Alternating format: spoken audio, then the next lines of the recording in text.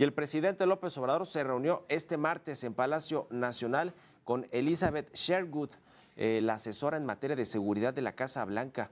En el encuentro también estuvo presente el embajador Ken Salazar y una delegación de funcionarios estadounidenses. La seguridad y la migración fueron los temas centrales de dicha reunión.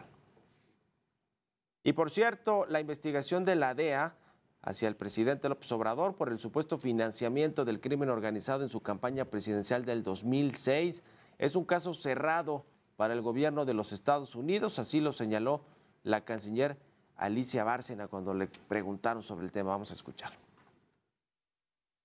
La señora Liz Sherwood, la asesora de seguridad de la Casa Blanca, le dijo al presidente que este es un tema cerrado para ellos. Este es un tema que ocurrió en 2006 y todas las investigaciones que hicieron en Estados Unidos fueron cerradas sin haber encontrado ningún tipo de, yo diría, de delito ni, ni consecuencia de ello.